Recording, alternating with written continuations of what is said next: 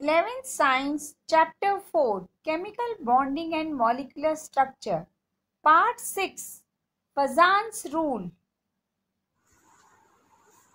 Hello students, I hope everybody is healthy and safe at home.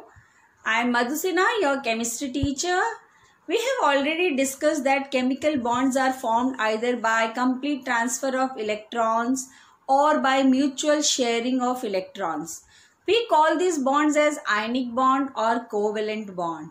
But do you know? No bond is 100% ionic or 100% covalent.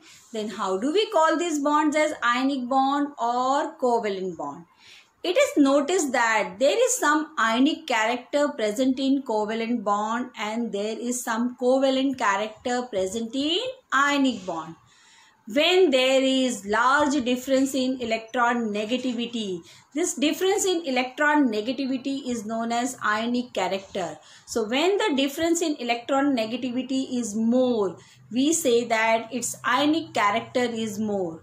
So for any chemical bond if the ionic character is more than 50% we call that bond as ionic bond and if the ionic character is less than 50% we call that bond as covalent bond. And this is termed as polarity of bond. So basically the term polarity means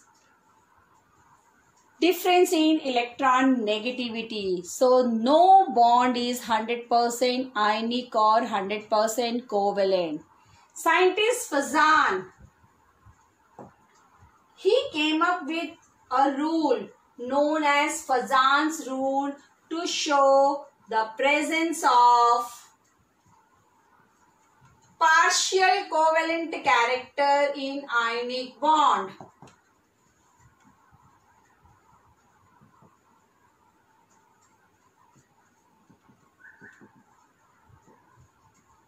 So Fajan, he gave rules to show the presence of partial covalent character in ionic bond. According to Fajan, smaller is the size of cation. Smaller is the size of cation and larger is the size of anion more is the covalent character in ionic bond. So this is the first point. Smaller is the size of cation and larger is the size of anion. More is the covalent character of ionic bond. The next rule says that more is the magnitude of, greater is the charge on cation. More is the covalent character of ionic bond.